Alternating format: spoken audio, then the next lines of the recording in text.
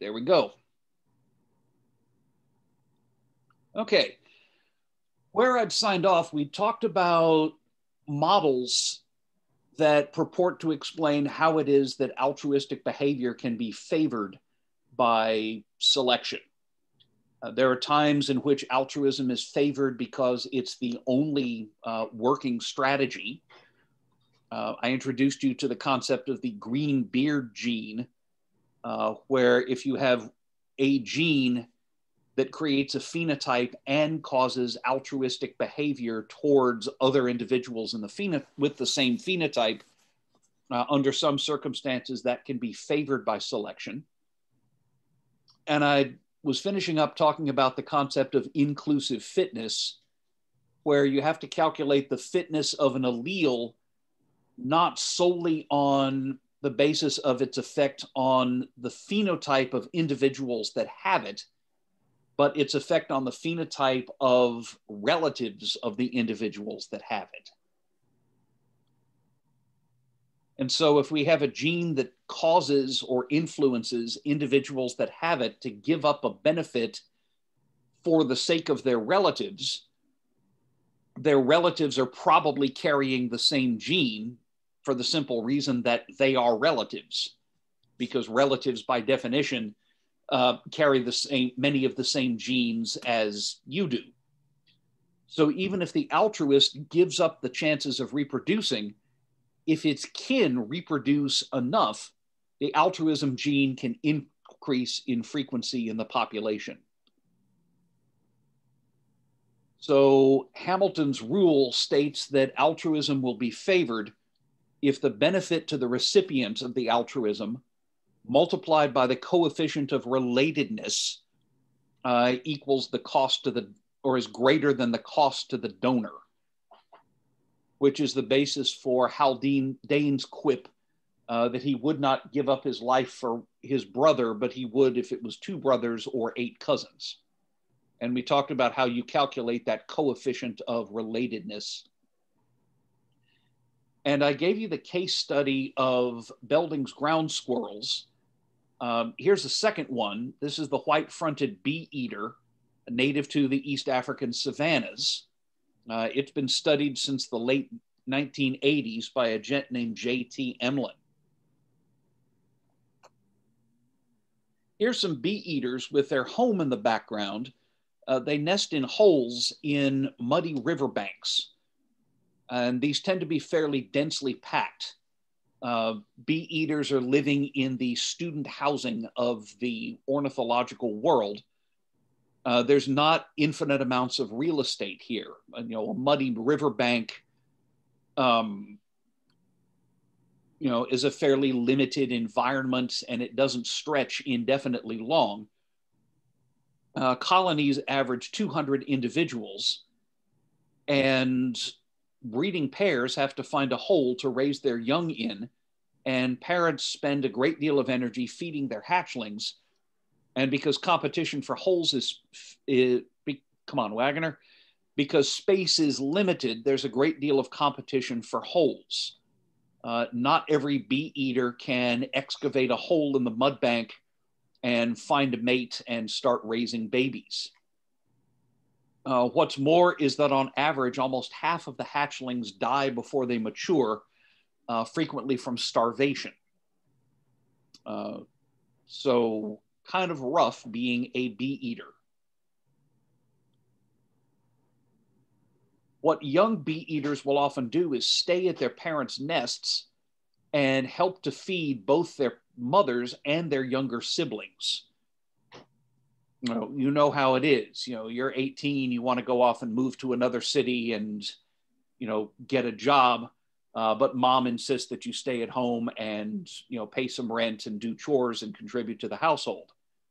Um, bee eaters do this. Parents have been known to harass their older offspring until they give up trying to mate. Sorry, momentary flashback to high school. Um, right. And the reason why this is favored is that having a helper at the nest doubles the chances of hatchling survival. Um, hatchlings are twice as likely to survive if they're raised by parents and an older sibling as they are uh, by having parent parents raising them alone. Uh, the more helpers are there, the greater the odds that hatchlings will survive. And so helper birds can gain indirect fitness because they are raising their siblings, or sometimes their half siblings. But the gains to fitness are slightly greater than if they had attempted to breed themselves. A bee eater that leaves the nest as soon as it can and tries to reproduce will have will leave fewer copies of its alleles in the next generation compared to a bee eater that sticks around the nest and helps raise its siblings not permanently, but at least for one season before going off on its own. Uh, the helper bee eaters do eventually get to pair up and raise their own offspring. But bee eaters that spend a year helping raise their siblings leave more copies of their alleles in the population than bee eaters that don't. So, in this case, this is a very nice example of uh, kin selection. A third really cool study that brings it, I think, makes it even more clear is a look at parasitic wasps. When I was a lad, my mom had a big backyard garden, and there's nothing she likes more than freshly picked tomatoes.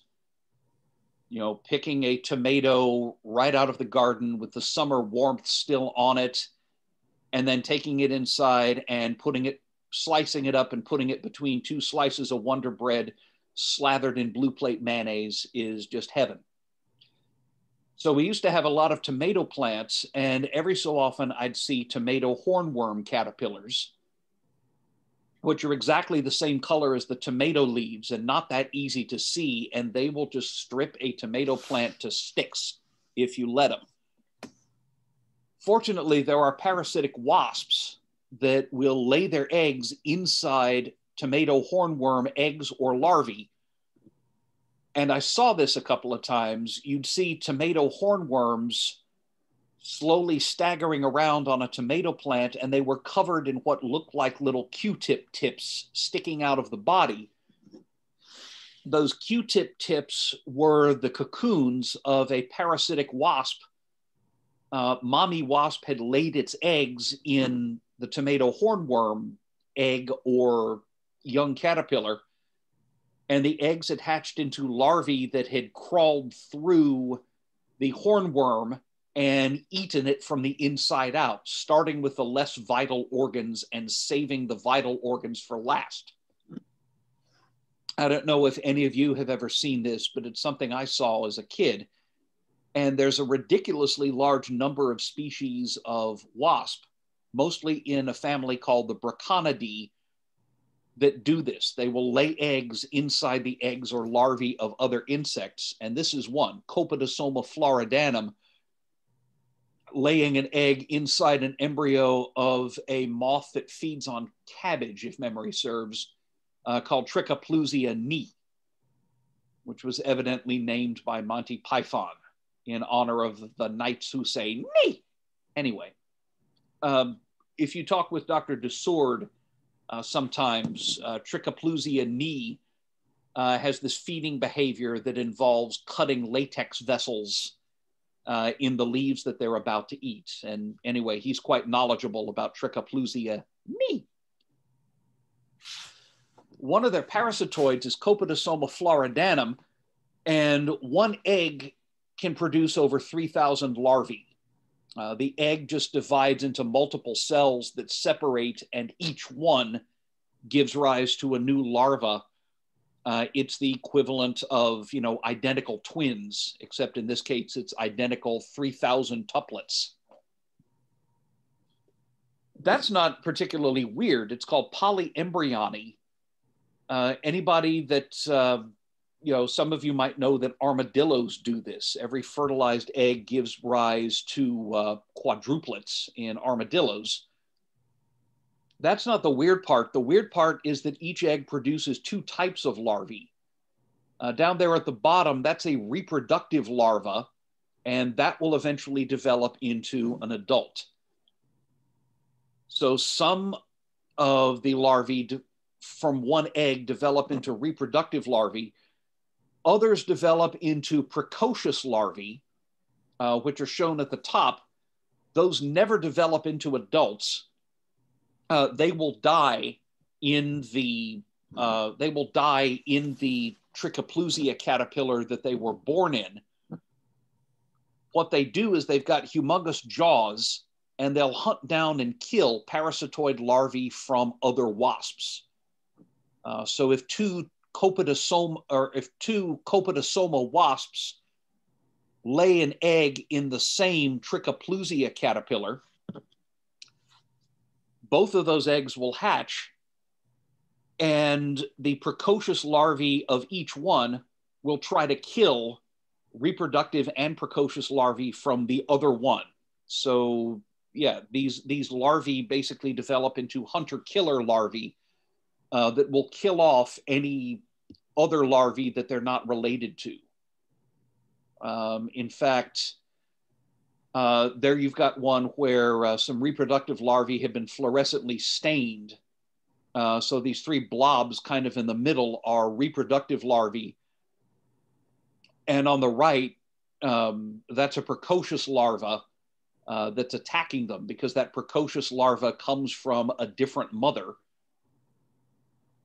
Um, and you can see its gut is uh, lit up uh, because it's just eaten um, a lot of tissue uh, from the stained reproductive larvae from a different mother. The reason this works is that all the larvae from one egg are clones, which means that the coefficient of relatedness is one. They're all genetically identical, which, by the way, means that this is a really cool case of phenotypic plasticity. Uh, if some of those larvae develop into reproductives and other develop into precocious despite being genetic clones of each other. That means there's some great phenotypic plasticity going on. Um,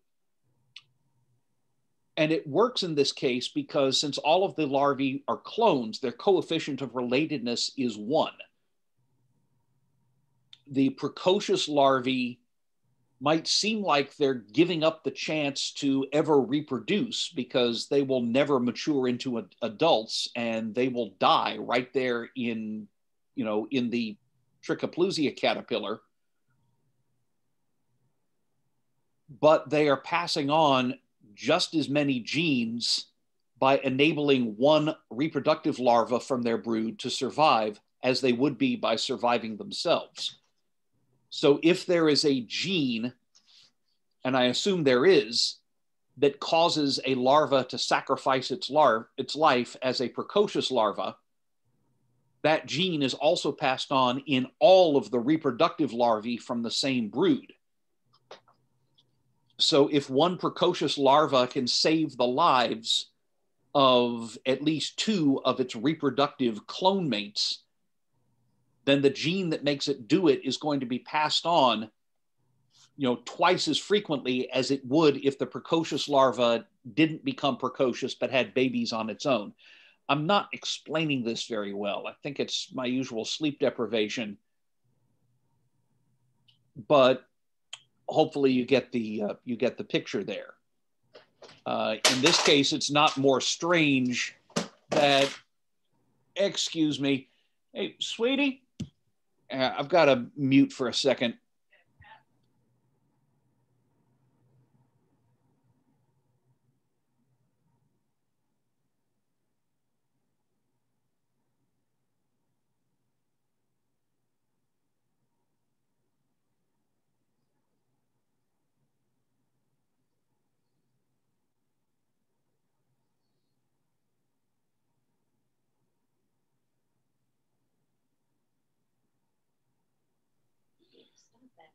Okay, sorry about that. We had a cat that was about to commit property damage. Because why not? He's a cat. Okay. One of the coolest examples of altruism is eusociality.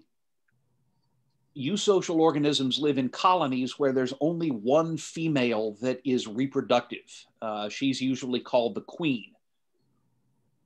Other members of the colony serve the colony and they serve the queen, uh, but they do not reproduce themselves. And very often you've got separate castes of individuals. Um, you see this taken to its extreme in uh, some uh, species of termite uh, where you have worker termites and soldier termites with enormous jaws. Uh, I think there's an African species where you have soldiers with jaws and also soldiers that squirt acid. Uh, there's at least one Asian species where you have worker termites and soldiers that fight with huge jaws, and a different type of soldier um, that uh, tear themselves open to release poisonous goo onto enemies. Uh, you can have several different types of soldier. The best known examples of this are insects in the class Hymenoptera, which is the ants, bees, and the wasps. Uh, honeybees are the one I'm going to be talking about the most because that's the one I know best. Uh, but there are ants that do the same thing. Uh, and then termites are famous for this, uh, where you have a single reproductive queen who cranks out eggs all of her life, and she's taken care of by the worker termites, and sometimes the colony is defended by soldiers as well.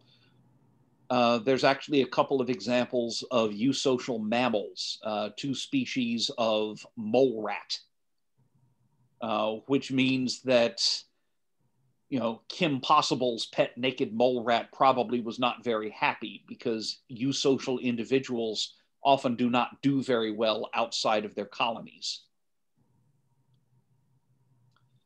Uh, so here you've got you some honeybees.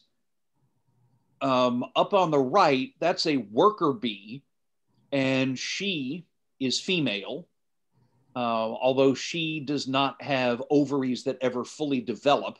Uh, so she can't reproduce. And um, she's diploid.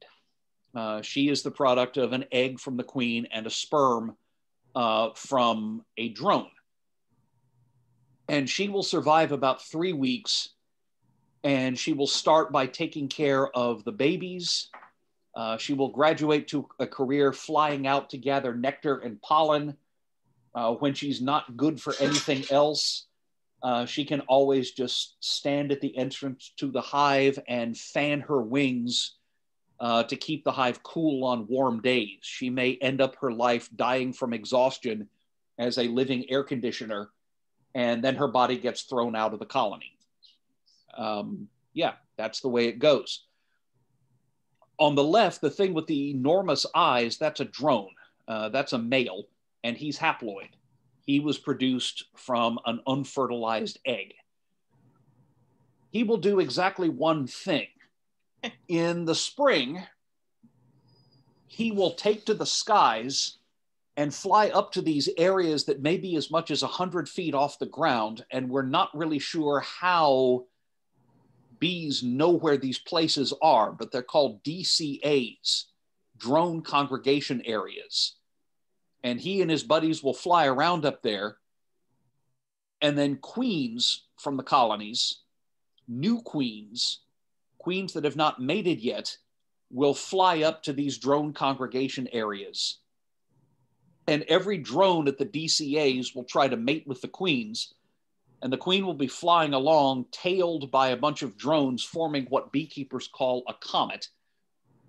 The first drone to reach the queen will seize her, insert his copulatory organ into her, and ejaculate sperm with such force that his copulatory organ is blown off and remains sticking in the queen bee, while he himself spirals to earth and crashes like an A60 shot down at the Battle of the Coral Sea. All right, World War II reference there. And then the second drone will catch up with the queen and plunge his copulatory organ into her, and his tallywhacker will promptly explode and he will die. Um, and this can go on for some time until the queen returns to her hive, having mated with a drone from a different colony. Queens don't mate with their own drones because the drones are all developed from the queen's unfertilized eggs. Yeah. So on that one flight, the queen will store all of the sperm that she will need uh, over the next, uh, if things go well, over the next two years. And she will have all the sperm that she needs to start cranking out all of the workers that she needs to build a big, thriving colony. The upshot of this is that this is a queen, and a lot of beekeepers put spots of paint on the queen in order to be able to find her easily. The queen does not naturally have that pink spot on her thorax. Uh, but the queen is surrounded here. You can see there's a bunch of workers that are all facing her in a circle. She is cranking out this sweet smelling stuff called Nasonov pheromone. Uh, and the workers just absolutely love it. They cannot get enough of it you know this is what makes them you know the entourage of beyonce in the middle right there. Huh, see what i did there? Yeah she's beyonce. And because of this haplodiploidy the worker bees are all theoretically full sisters. Because the workers share more genes with each other than they would with their own offspring and the reason is, is if the worker bees are all descended from the same father, then every worker bee has half their genes in common because their father was haploid. The father in this case does not put out only half of his genes the way that a diploid father would. Right? Your dad gave you one half of his genes but a male bee, if he reproduces, passes on all of his genes to every one of his offspring. So these worker bees share half their genes in common because they all got the same genes from dad. Plus, they share a quarter of their genes in common because they got some of their genes from their diploid mom. So the upshot is that these worker bees are more closely related to their sisters than they would be to their own offspring which is kind of weird. Here's the thing queens don't last forever, and eventually a queen will start failing. Uh, the queen may stop being able to produce all of that sweet, sweet Nasonov pheromone. And when that happens, the workers will take one of their sisters, uh, they'll take a larva, and instead of putting her in one of those hexagon shaped cells, they'll build a special little wax chamber for her that looks a little bit like a peanut or maybe a chewed piece of gum uh, called a queen cell. In fact, here they've built several uh, queen cells. Those are those kind of lumpy things, uh, more or less in the middle of the picture. There's more room, and the worker bees will secrete a hormone rich substance called royal jelly. And all of them got a little bit of royal jelly when they were larvae, but the potential new queens will bathe in the stuff, and that will cause them to fully mature sexually. Uh, that will make their ovaries uh, mature. And when they hatch, they will be fully sexually mature queens. So the workers have taken one of their sisters and made her into a queen. And remember that the workers share three quarters of their genes with this new queen. Uh, incidentally, if you're wondering why they made multiple queen cells, uh, the first queen to emerge will go around and promptly sting uh, all of her potential rivals. Uh, you can't have more than one queen in a hive at a time. So yeah, the first queen will promptly execute anybody else that emerges. And so the idea is that worker bees can pass on more copies of their alleles by raising sisters than they could by reproducing on their own. Uh, and that means that genes for eusociality would be favored. Uh, a worker bee that helps her sisters has a greater chance of passing on her alleles than a worker bee that turns into a queen and tries to reproduce on her own because sisters are more closely related to each other than mothers and daughters are related to each other because of haplodiploidy.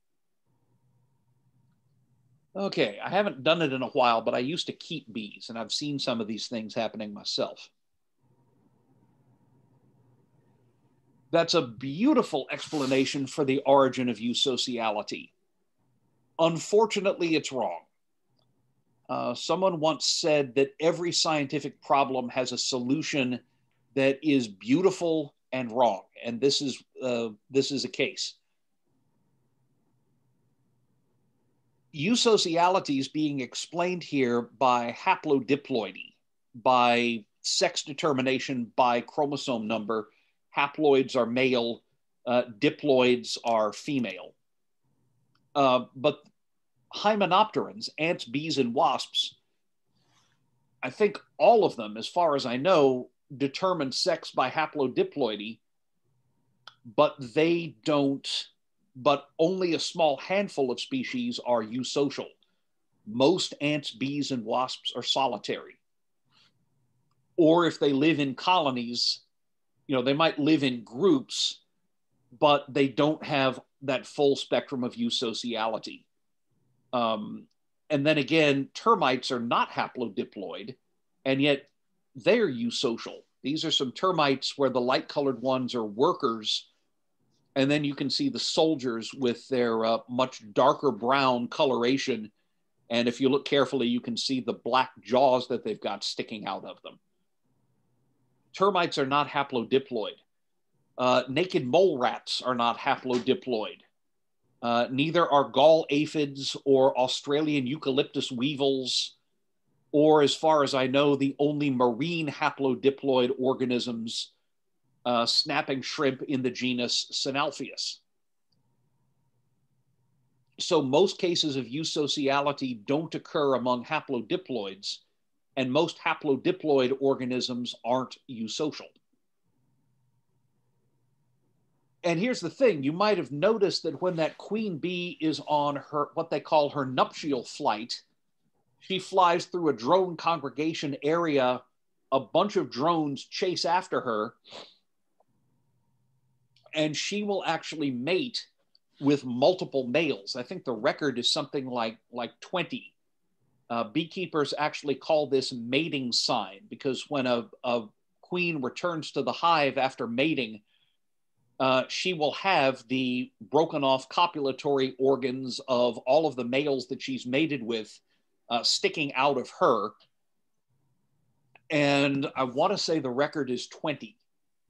I, I could be wrong about that, but it is true that a queen can mate and probably usually does mate with multiple males uh, during that nuptial flight she may actually be able to have, since she will store their sperm for up to two years, she may actually have some kind of control over whose sperm she uses. I've heard that suggested. I'm not up on the latest uh, research there. But regardless, if she mates with several males, the story falls apart because those worker bees are not necessarily all full sisters. Uh, if two workers have different fathers, they'll only share one quarter of their genes in common. Um, no different there from half siblings in, in humans or other diploid species. By the way, that picture there is what happens to the old queen in a hive. Uh, when the hive starts making a new queen, the old queen will take some of the workers and leave the hive and they'll settle in places like this while they're looking for a place to build a permanent colony. Uh, so the queen is at the center of this ball of bees. All of the bees are snuggling up to her because they love that Nasonov pheromone. And around here, this usually happens at about the end of April. So, in roughly a month, uh, you might see a, a, ball of bees uh, somewhere on trees outside or something like that.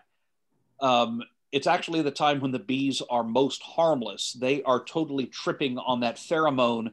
Uh, they're not especially aggressive, and beekeepers can actually knock those balls of bees off into a hive and get them to settle there. Uh, I've actually done that before. So, yeah, if you see one of these, don't call the exterminators, call a beekeeper. In fact, it's possible for beekeepers to introduce a completely unrelated queen into a hive, and sometimes they'll do this deliberately. Uh, you can buy queens in little wooden cages, and you can see there's a little white plug at the left end of this. Um, if you put one of one of these into your hive, the workers at first will try to mob the queen uh, but the wire cage protects her. After a couple of days, they get used to her and they start tripping out on those wonderful pheromones that she's cranking out. And they'll chew through that white plug, which is made of sugar candy, uh, in order to release the queen, and they'll be fine. Uh, so workers can accept a queen that is completely unrelated, and workers are known to stray into colonies where they're not related to any bee. Uh, in fact, if you've got two beehives and one of them doesn't have enough workers to bring you lots of honey, you can actually shake workers out from one hive into the weak hive and the workers will be fine. You know, termites, they'll fight to the death.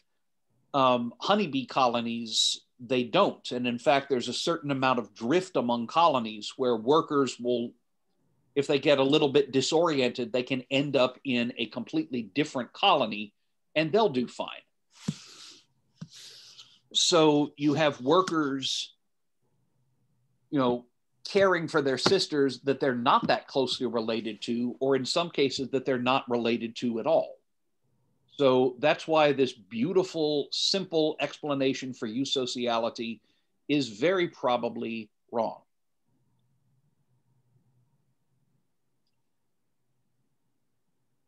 what I've now heard suggested is that whenever you do have eusociality, it tends to develop among organisms with a common lifestyle. They're living in very close quarters. Uh, they've got access to very rich resources. In the case of honeybees, it's all that nectar and pollen. And those have to be actively defended. Uh, I once had one of my hives rob another one of my hives, and it was the damnedest thing um, bees from one of my hives got into the top of uh, my other hive and freaking murdered all of the bees that were trying to defend it and absolutely picked that honeycomb clean of, of honey. Uh, was kind of disheartening. And I, you know, I didn't get any honey that year, damn it. Um, under those circumstances, you probably have a lot, you do have kin selection going on in that workers are still related to the queen. Workers are so mutually dependent on each other, all those bees are so dependent on each other that selection in this case may be operating on the level of colonies, not on individuals. Bee colonies do things that no individual bee can. Uh, they found some evidence recently that honeybees, uh, honeybee colonies can actually respond to their environment. Um, it's almost as if they've got moods. Uh, honeybee colonies can store information about their environment in ways that individual honeybees cannot. And it may be analogous to what went on when early eukaryotic cells started glomming together into larger and larger clumps and evolving into the earliest animals. You know, if you think about it, your own cells are just as selfless as worker bees do. Your own cells will do exactly what they're told. They'll give everything they've got for the welfare of your body. They'll die when instructed. And if one of your cells decides, hey, I want to go be an individual and not selflessly serve the body until my death, well, what we call that is cancer. So, if animals evolved from single cell protists, somewhere there must have been an analogous transition between selection acting on individual cells and individuals acting on whole bodies instead of individual cells. And eusociality may be a kind of halfway house in that process. We can cert, I mean, so we may be th- we may be more accurate to think of selection acting at the level of colony rather than acting on the level of the individual bee. The individual bee is maybe no more important than the individual intestinal lining cells that uh, sacrifice themselves and die to the tune of something on the order of, I want to say, uh, 50 billion a day. Okay, can we apply this to humanity?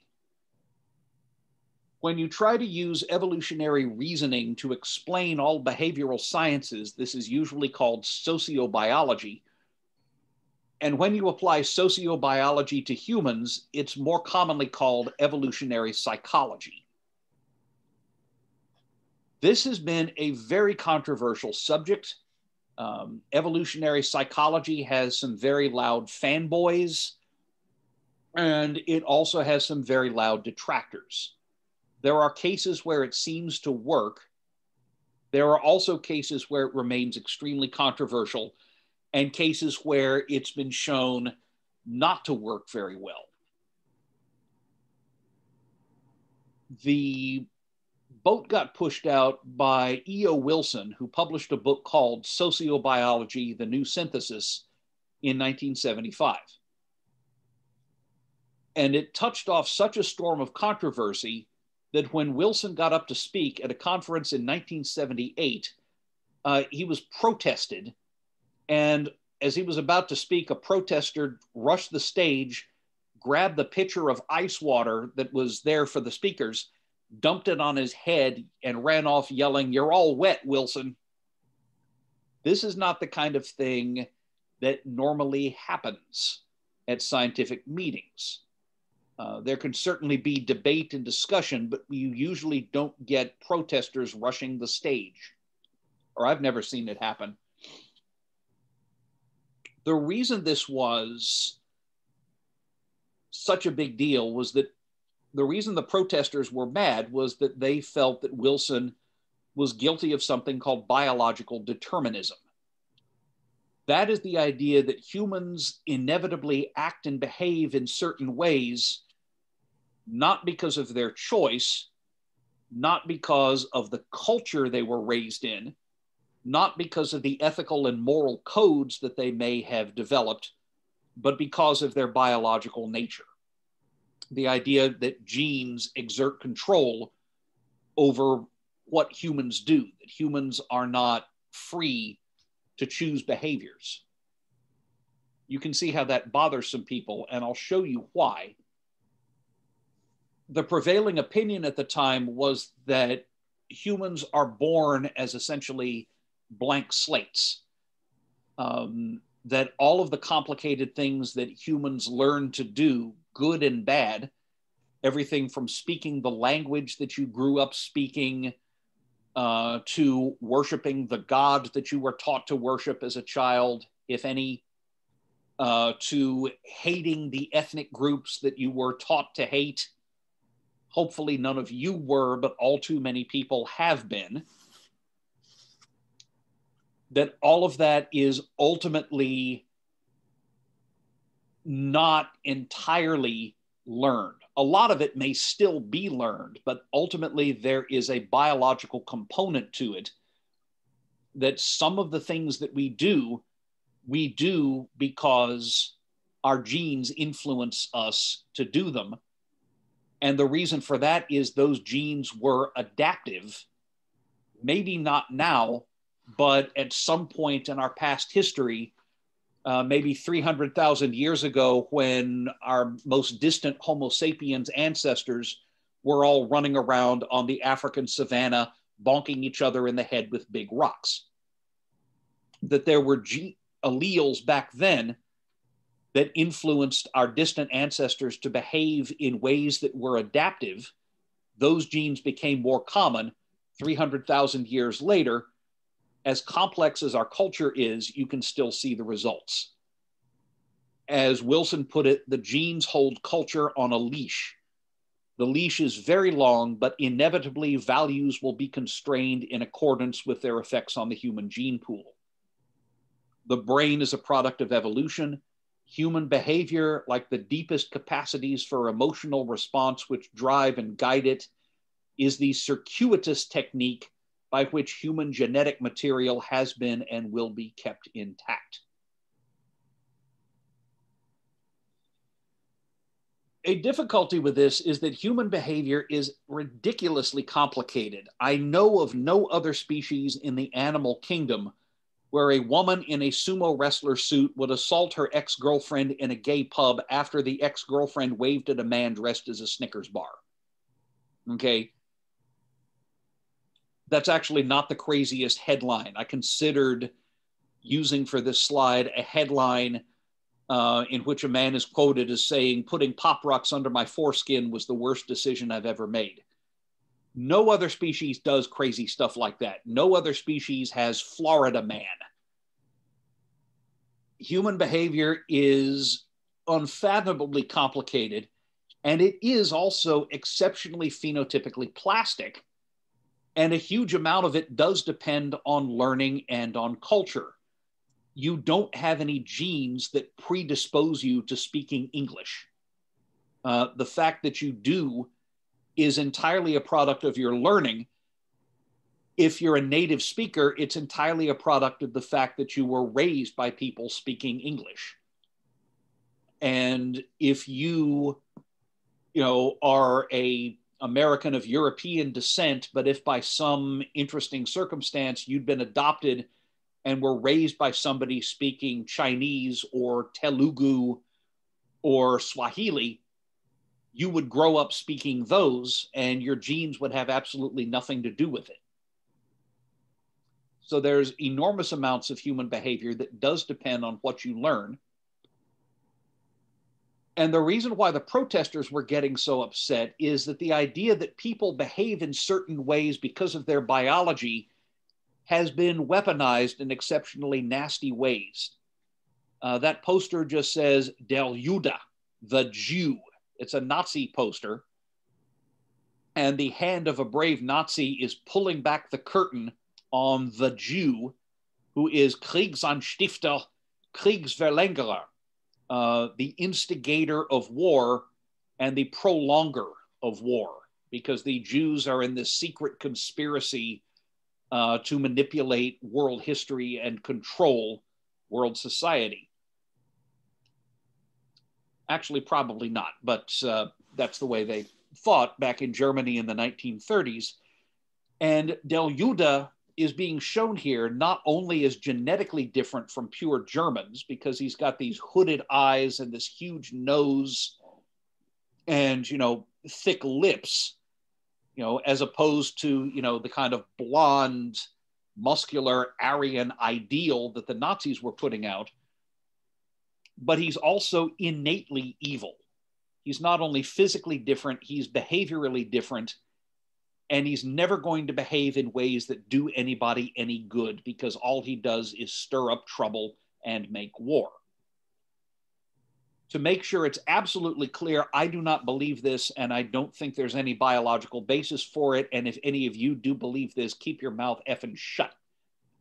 But you can see how this idea that genes have an influence on human behavior and human culture got weaponized and has produced you know some of the worst moral outrages in human history you know killing 6 million jews on the basis of this i mean you know, that's one of the worst crimes humanity's ever committed. Now, hopefully, you see why the protesters in 1978 were really pissed off about Wilson because it looked like he might be trying to make ideas like this shit scientifically respectable again. Um, there had been very similar ideas deployed in the service of African slavery in the southern uh, United States. Uh, the vice president of the Confederacy in 1861 made a speech claiming that the Confederacy was founded on the scientific fact that Africans were naturally fitted to be slaves and not govern themselves, and this was simply part of their biological nature. There is an absolutely blood curdling tradition of scientists finding support for innate white supremacy. Uh, a book by Stephen Jay Gould called The Mismeasure of Man lays a lot of that out. And such ideas are not entirely gone even in our day and age. Uh, you can still find them on some of the nastier corners of Facebook. Here's another example. We talked about Bateman's rule earlier, the rule that the sex with less to invest in reproduction will maximize its fitness by reproducing as much as possible. We saw some examples why that I trust made the point clear that Bateman's rule is a, at best, it's a rule of thumb, and it's got so many exceptions to it that it doesn't work very well, even just as a rule of thumb. There's any number of cases where organisms seemingly violate Bateman's rule. But if you apply this literally to humans, like my anthropology professor did in the spring of 1989, um, if you apply this to humans, his argument was that what men look for is youth and beauty, which are correlated with fertility, and also that men seek out variety. Women don't, because for a woman to be promiscuous does not increase the number of kids that she's going to have as the old joke goes, it takes a woman nine months to have a baby, no matter how many men you put on the job. The number of offspring that a woman can have is constrained by the fact that she's got nine months of pregnancy. Uh, and in traditional cultures, uh, breastfeeding probably for more than two years, and breastfeeding tends to depress ovulation. So she's only got a limited number of attempts. So her best move is to be very choosy and go for men who are good providers and protectors. A man to conceive a child only needs um, a, about a teaspoon of fluid and two minutes of his time. One would hope it's more than two minutes, but let's get real here. And so a man can maximize the number of offspring he has by reproducing as often as possible. That would seem to legitimize things like this. Uh, I don't know if you remember this. This was a reality TV series about 15, 20 years ago uh, with Hugh Hefner, uh, the publisher of Playboy, uh, and his three uh, very young, um, very look like they would be fertile um, blonde girlfriends, all living together in the Playboy mansion. Um, my roommate at the time used to watch this all the time. So I've seen some episodes of it and it's pretty damn cheesy. And you could see this as giving an aura of scientific approval to what would consider very unsavory behavior. You know, you know, imagine a man saying, "Well, honey, yes, it's true. Uh, I picked up those other girls at the bar, and I slept with them, and also with a couple of uh, girls from work and also your sister. But I can't help it because it's in my nature. Evolution has programmed me to seek sexual variety. Um, so I'm just doing what comes naturally. And evolution has not programmed you to seek variety. It has programmed you to seek out stable partnerships with good providers uh, so why don't you go make me a sandwich? Okay, the female students of you, if that actually, if you actually heard that, I'm assuming you would probably not let that guy finish his sentence because you would have beaten him to death by this stage. But you can see how this can be viewed of giving an aura of respectability to some very sexist behavior patterns. I'll mention, by the way, that one problem is that it commits the naturalistic fallacy, meaning just because something is natural by a culture's standards of behavior, or just because something is natural biologically does not mean it is morally good. It is natural for me to be blind as a damn bat. That doesn't mean it's morally wrong for me to wear glasses. It may be natural for human men to seek out a variety of copulatory partners. That does not mean it is moral for them to do so.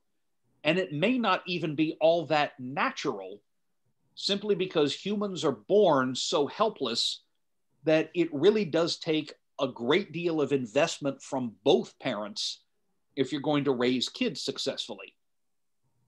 Having been a dad for 10 years, I know this. Um, I know this very well.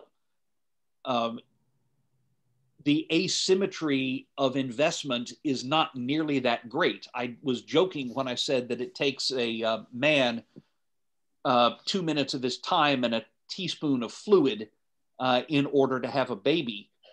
Uh, if that baby is going to survive and succeed, it takes a lot more investment than that. We're not nearly as asymmetrical as you know this cheap ass version of Bateman's rule would have it.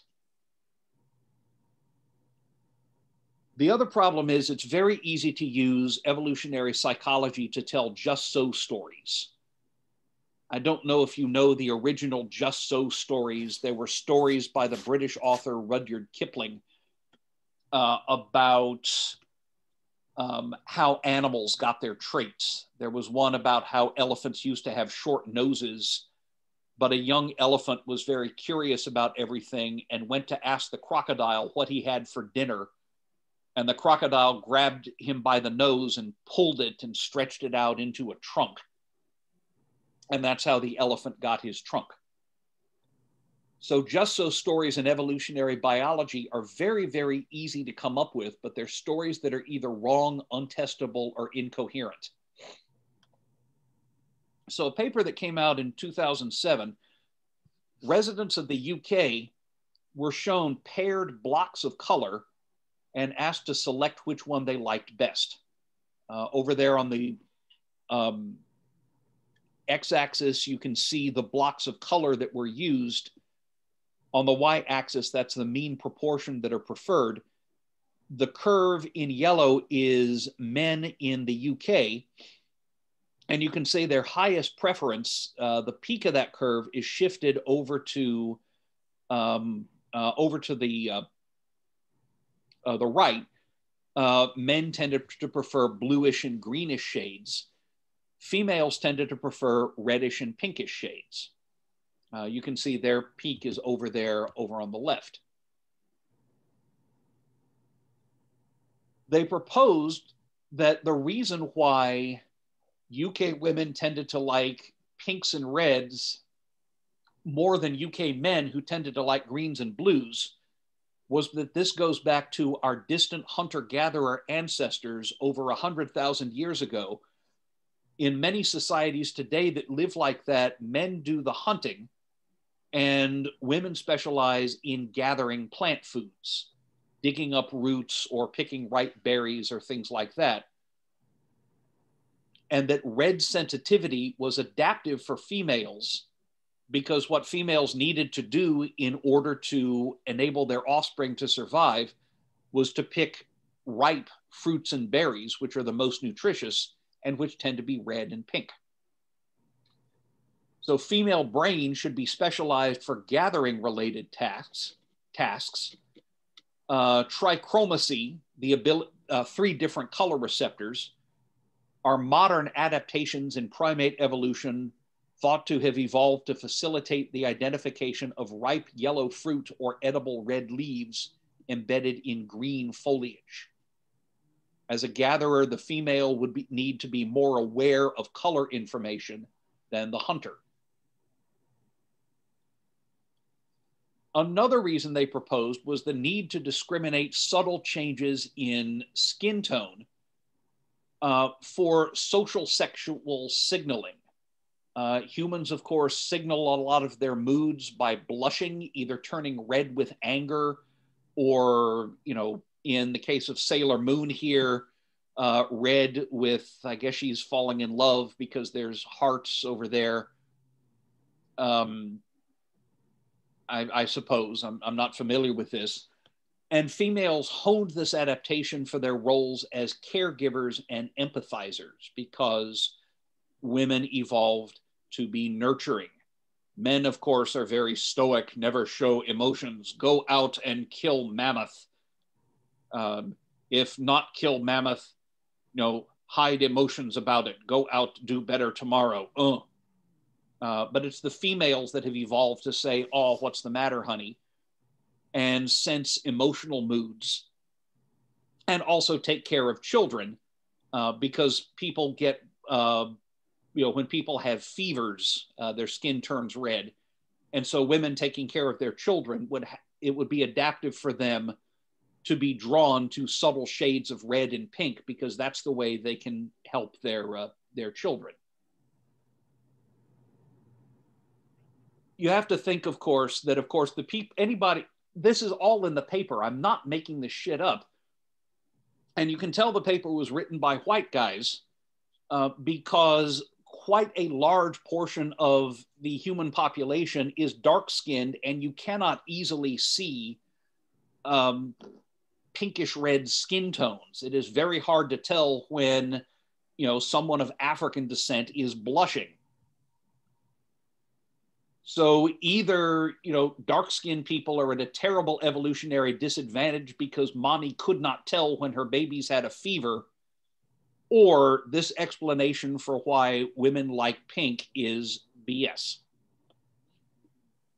You can tell there's some sexism embedded in it, right? How men are, you know, not signaling their emotions, but women have to be more in tune with emotional states because women are, you know, emotionally receptive while men are supposed to be stoic and not show emotion unless they're in a honky tonk crying in their beer to the tune of He Stopped Loving Her Today by George Jones. Or was it George Strait? Doesn't matter. Here's the other thing the researchers did the same thing with Chinese test subjects, um, UK residents who'd been born in China. And in this case, they did not see a great distinction. Both men and women preferred red shades, and there was very little difference between them. uh, you can see the curves right there. Both men and women's preference are shifted over to the red. The reason for this is not because Chinese women have never been selected for their ability to distinguish ripe fruit. It's almost certainly cultural. If you go into a Chinese restaurant, especially around Chinese New Year, you'll see an awful lot of red decorations uh, because red is associated with good luck and good fortune. You know, if you had grown up in a Chinese family, you know, one custom that I think you'd like very much is getting gifts of money from your older relatives at about the time of Chinese New Year in red paper envelopes, again, as a sign of good luck and good fortune. So if you had grown up able to buy whatever video game you absolutely had to have because grandma and grandpa had given you money in red paper envelopes, you'd probably grow up really liking red. And that has everything to do with culture and nothing to do with selection.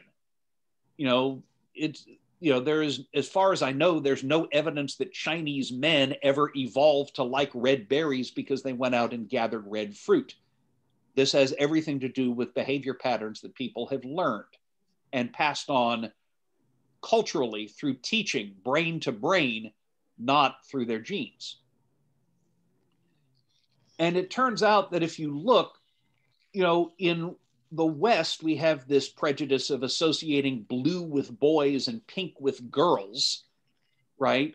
We even have these stupid gender reveal parties, you know, where you set off fireworks, and if the smoke is blue, it's a boy, if it's pink, it's a girl, and if it burns down half of goddamn California, well, oh well, tough luck.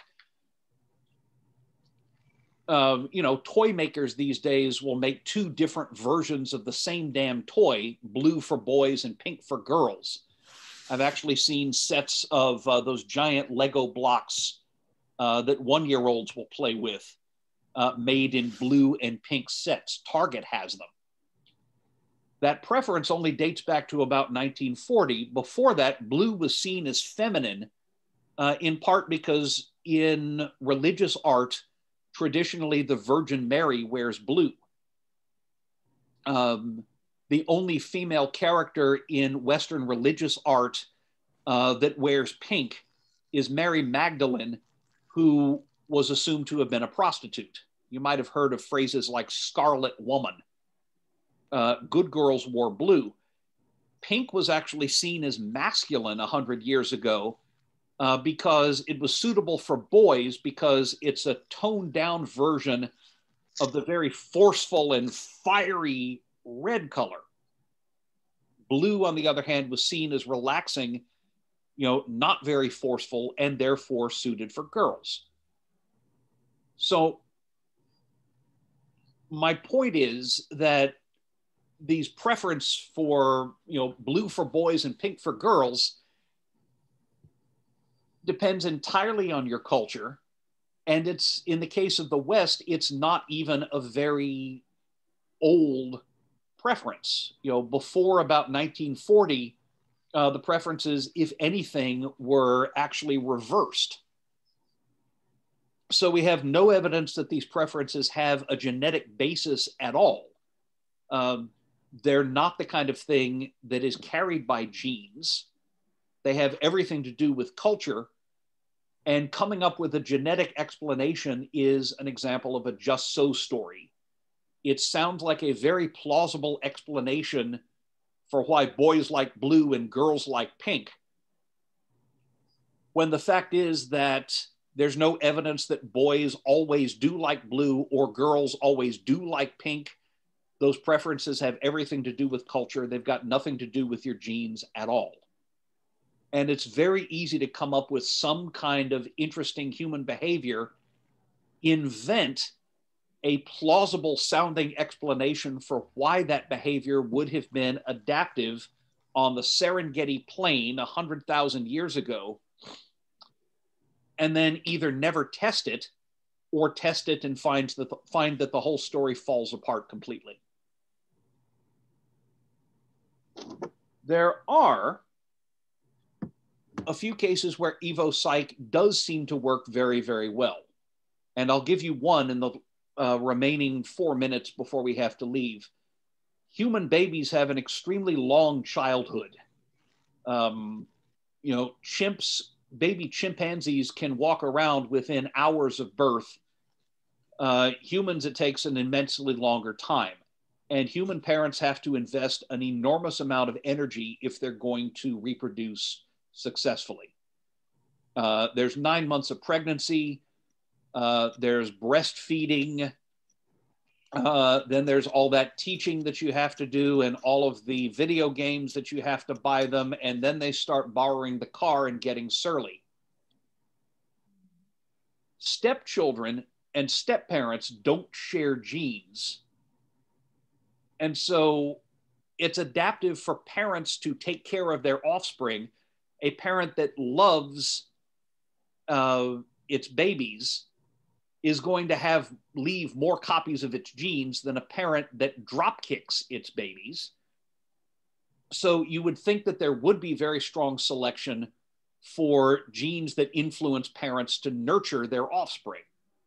Okay, it seemingly makes sense Stepchildren don't share those genes with their step parents. Stepchildren don't co- contribute directly to the fitness of step parents. And this sets up what's called the Cinderella effect. An awful lot of cultures around the world have stories about stepmothers that abuse their stepchildren. Uh, Cinderella is one example. Uh, Snow White is another one. The uh, the evil queen is Snow White's stepmom. Uh, I'm told there's lots of Indian stories about stepmothers working their stepdaughters to death. Um, there, this shows up in some Viking sagas that I've read. And it shows up in the fact that the single greatest risk factor for child abuse is the presence of a step parent in the household. Um, if there are two natural parents, the incidence of abuse for children between zero and two is one in 10,000. It's six in 10,000 if there is one natural parent and one step parent. The difference is extremely striking. The incidence of child murder is 600 times higher in step parent households than in households where there's both biological parents. Uh, if two biological parents are raising a child, there may be times when they feel like killing the kid. Trust me on this, but they don't actually do it. Child murder is still mercifully extremely rare, but it is still immensely more common in houses households where there's a step parent. This does not mean that every step parent is abusive. Most step parents aren't. Um, but when you have a case where there's an abusive parent that has biological children and stepchildren, the parent usually spares the biological children and punishes the stepchildren. There's less subtle signs of this, um, less subtle than a, or more subtle than abuse uh, there was a study done in New Mexico about 20 years ago that showed that step parents invested less money in college education for stepchildren than they did for biological children. Uh, step parents, on average, tended to play with their stepchildren less. Uh, step parents tended to be later in seeking medical care uh, for stepchildren than they were for biological children.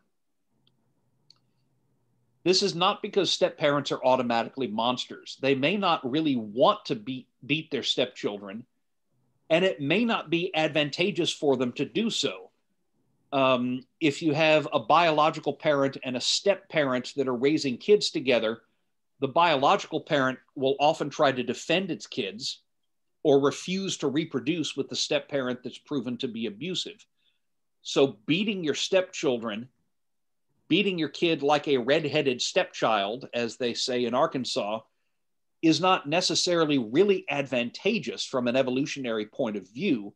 We're not talking about lions where a male lion killing the offspring of the females of his pride will make the females come into heat sooner.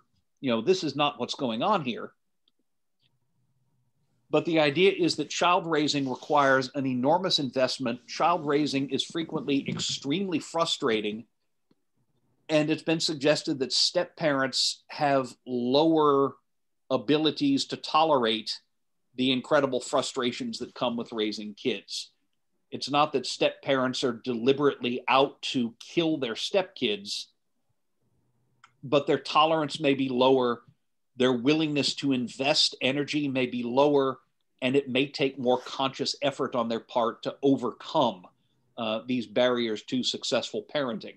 Many step parents do overcome these, but the pattern here seems to be cross cultural and it seems to have an explanation that is testable with data and makes sense from the point of view of evolutionary psych.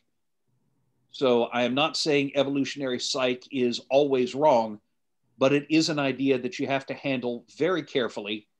And it's an idea where you need to be especially critical in your thinking and not assume that a given human behavior pattern exists the way that it does because it's been selected for, because it's easy to make very bad arguments to that effect.